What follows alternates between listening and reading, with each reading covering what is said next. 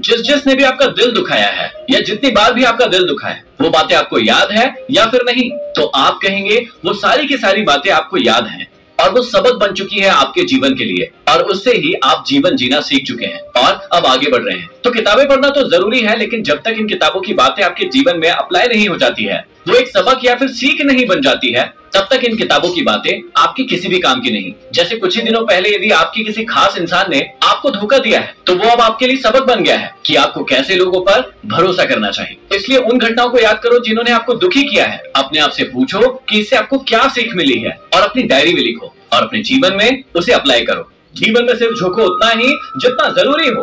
बेवजह झुकने से आप लोगों के अहम को बढ़ावा देते हो। कई बार आप उस जगह पर भी झुक जाते हो जहाँ पर आपको झुकने की ज़रूरत नहीं है। क्योंकि आप अच्छे आपको लगता है कि आपके झुकने से कोई रिश्ता बच रहा है। किसी का दिल टूटने से बच रहा है। लेकिन सामने वाला व्यक्ति इसकी बिल्कुल भी इज़्ज़त नहीं करता। है उसे आपकी कोई कदर नहीं होती है। और ऐसी जगह पर झुकने से आप सामने वाले के अहम को बढ़ावा देते हैं और अपनी बेइज्जती करवाते हैं। इसलिए झुको सिर्फ़ उतना ही जितना ज़रूरी हो, जिसमें आपकी इज़्ज़त बरकरार है इस दुनिया में लोग आईना कभी नहीं देखते। यदि उस आईने में व्यक्ति के चित्र की जगह उसका सही चरित्र नज़र आता। क्या आपने कभी सोचा है कि खुद के बच्चे की गलती होने पर भी कोई माँ दूसरे के बच्चे को क्यों डांट लगाती है? क्योंकि वो माँ अपने बच्चे से बहुत ज़्यादा प्रेम करती है। लेकिन उस माँ को इस बात को जानने में बहुत वर्ष लग जाएँगे कि उस प्रेम की वजह से उस बच्चे का भविष्य खराब हो चुका है। एलेक्सा टाइम क्या हुआ है?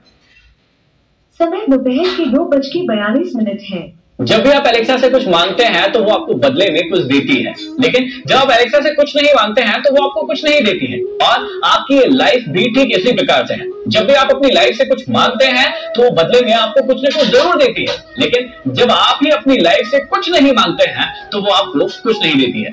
कुछ लोग ज़्यादा बड़ा मांगते हैं तो उन्हें वो मिलता है। लेकिन कुछ लोग बहुत थोड़ा मांगते हैं। लेकिन उम्मीद बहुत ज़्यादा की करते हैं, तब उन्हें वो चीज़ नहीं मिलती है। जितना मांगोगे, सिर्फ़ उतना ही मिलेगा। कई बार आपको लगता है कि आपको बिना मांगे सब कुछ मिल जाए, लेकिन लाइफ में ऐसा बिल्कुल भी नहीं होता है। यदि आपको कुछ चाहिए तो आपको उसके लिए मांगना पड़ेगा। एलेक्सा और लाइफ में सिर्फ़ इतना सा अंतर है कि एलेक्सा आपको सिर्फ़ मांगने पर दे देती है, जबकि लाइफ आपको सिर्फ़ मांगने पर कुछ भी नहीं देती है, क्योंकि मांगना उसका पहला चरण है, उसके बाद आपको करना पड़ेगा। याद रखना कि ज़िंदगी में हमें बहुत कुछ मुफ़्त में मिलता है, लेकिन उनकी कीमत हमें सिर्फ़ तभी समझ में आती है, जब वो चीज़ें हमारे जीवन से चली जाती है। ऐसी कई सारी चीज़ों के लिए हमें ग्रेटिट्यूड महसूस करना चाहिए ग्रेटफुल महसूस करना चाहिए, जो हमारे जीवन में है। लेकिन हम कभी नहीं कहते हैं, क्योंकि वो चीज़ें हमें फ्री में मिली है। और इंसान की फितरत होती है कि जो भी चीज़ें उसे मुफ़्त में मिली है, उसकी वो कीमत तब तक नहीं करता है, जब तक कि वो उसके जीवन से चले नहीं जाए। ज़िंदगी में जी लो हर लम्हा